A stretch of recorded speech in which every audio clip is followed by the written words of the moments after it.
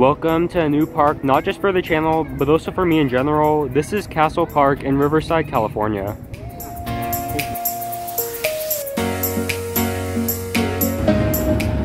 Just walking into the park, I can already tell this place holds a charming setting.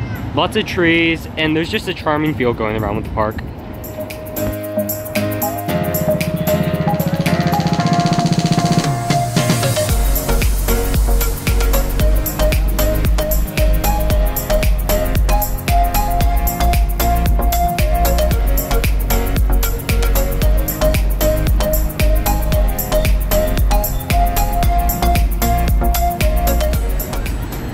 Man, Screaming Demon's definitely a weird ride.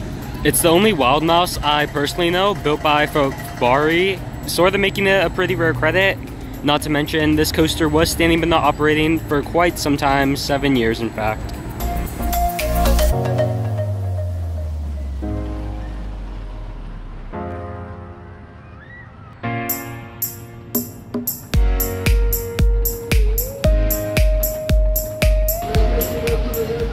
If you've ridden Gadget's Go Coaster, Roadrunner Express, or any other Vekoma family coaster, you know exactly how Merlin's Revenge is like. Next up, we've got the SNS Drop Tower, and these are always super fun.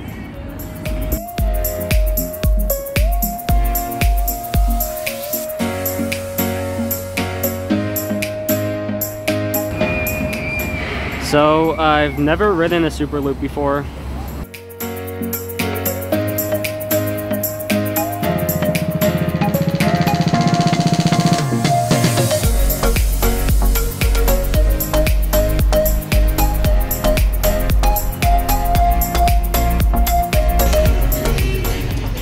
One thing I have to mention is that the park is surprisingly dead.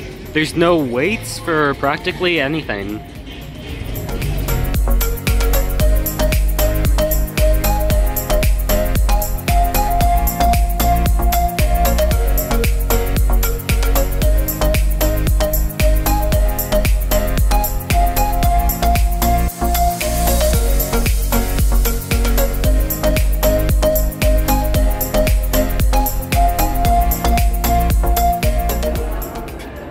Uh, dang guys, sadly the Castle Park Railroad isn't operating today.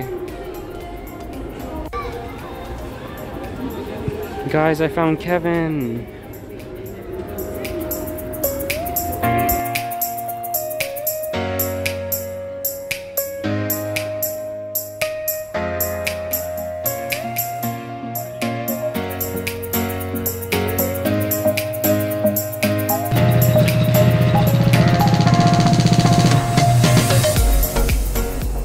The park's water park attraction, Buccaneer Cove, is currently closed, so be aware of that if you're visiting anytime soon.